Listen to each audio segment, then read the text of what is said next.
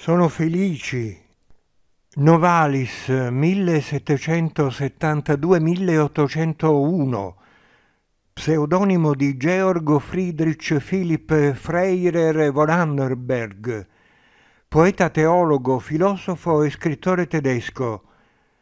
In frammenti dice Sono felici quegli uomini che sentono dovunque Dio, quelli sono veramente religiosi. Religione e morale nella più alta dignità. Commento.